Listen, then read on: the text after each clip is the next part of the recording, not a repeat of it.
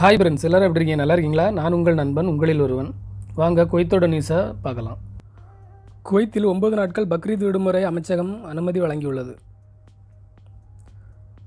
இரண்டு விரும் விடுமுறை தினங்களுக்கு இடையிலாக ஜூலை பதினெட்டு ஞாயிற்றுக்கிழமை ஓய்வு நாளாக எடுத்துக்கொண்டு ஜூலை பதினாறு வெள்ளிக்கிழமை முதல் ஜூலை இருபத்தி நாலு சனிக்கிழமை வரை அனைத்து அரசு மற்றும் அரசின் கீழ் இயங்குகின்ற நிறுவனங்கள் நிறுவனங்களுக்கும் விடுமுறையாக இருக்கும் என்று தெரிவிக்கப்பட்டுள்ளன. இதன் காரணமாக தொடர்ந்து ஒன்பது நாட்கள் பக்ரீத் விடுமுறையாக இருக்கும்.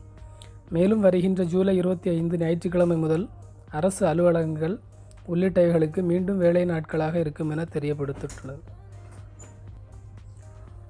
குவைத்தில் அறுபது வயதுக்கு மேற்பட்ட வெளிநாட்டவர் விசா புதுப்பித்தல் தொடர்பாக நற்செய்தி விரைவில் வெளியாகலாம். குவைத்தில் அறுபது வயதுக்கு மேற்பட்ட வெளிநாட்டவர்கள் விசா புதுப்பித்தல் அமைச்சரவையின் பரிசீலனைக்கு சமர்ப்பிக்கப்பட்ட தகவல் வெளியாகியுள்ளது.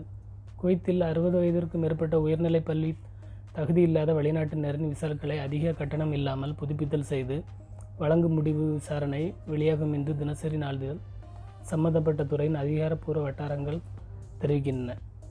நாட்டின் வர்த்தக மற்றும் கைத்தொழில் துறை அமைச்சரும் மனிதவள மேம்பாட்டு இயக்குனர் குழுவின் தலைவருமான அப்துல்லா சல்மான் அவர்கள் சமர்ப்பித்த திட்டம் நாளை நடைபெறும் அமைச்சரவை கூட்டத்தில் விவாதிக்கப்படும் இத்தகைய அறுபது வயதுக்கு மேற்பட்ட வெளிநாட்டருக்கான குடியிருப்பு அனுமதி பத்திரத்தை ஆண்டுக்கு இரண்டாயிரம் தினார் கட்டணம் மற்றும் சுகாதார காப்பீடு தொகையை ஐநூறு தினார் கட்டணத்துடன் புதுப்பிக்க முன்னர் ஒரு திட்டம் முன்வைக்கப்பட்டது. ஆனால் அதிக கட்டணம் வசூலிக்காமல் சிறப்பு காப்பீடு கட்டணத்தை மட்டும் விதிப்பது குறித்து பரிசீலிக்க திட்டம் அமைச்சரவையிடம் சமர்ப்பிக்கப்பட்டுள்ளது.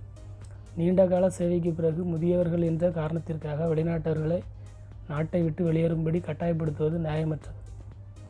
நியாயமற்றது என்றும் அந்த முன்மொழி திட்டத்தில் குறிப்பிட்ட குறிப்பிடப்பட்டுள்ளது. இதற்கிடையே இந்த ஆண்டு ஜனவரி ஒன்று ரெண்டாயிரத்தி இருபத்தி ஒன்று முதல் உயர்நிலை பல்வி கல்வி தகுதி இல்லாத அறுபது வயதுக்கும் மேற்பட்ட வெளிநாட்டிற்கான குடியிருப்பு அனுமதி பத்திரத்தை ஒர்க் புதுப்பிக்க தொழில்துறை அமைச்சகம் தடை விதித்து உத்தரவு வெளியிட்டது. இருந்தாலும் அறுபது வயதுக்கு மேற்பட்ட நூற்றி ஐம்பத்தி ஏழு வெளிநாட்டினரின் விசாக்களை புதிய உத்தரவுகளை மீறி புதுப்பித்து வழங்கியது. கண்டறியப்பட்ட நிலையில் அதில் வெளிநாட்டு அதில் தொடர்புடைய முப்பத்தைந்து அதிகாரிகள் மீது விசாரணை தொடங்கப்பட்டுள்ளது. இவற்றில் நாலு பேருக்கு மூணு வருடங்களும் இருபத்தேழு பேருக்கு இரண்டு வருடங்களும் நூற்றி இருபத்தாறு பேருக்கு ஒரு வருடமும் விசா புதுப்பித்தல் செய்து வழங்கியது கண்டறியப்பட்டுள்ளது. குவைத்தின் நேற்றைய கொரோனா நிலவரத்தை பார்ப்போம். புதிய கேஸ் ஆயிரத்தி எழுநூற்றி எழுபது மொத்தம் கேஸ் மூணு லட்சத்தி எழுபத்தேழாயிரத்தி முந்நூற்றி அறுபத்தி நாலு.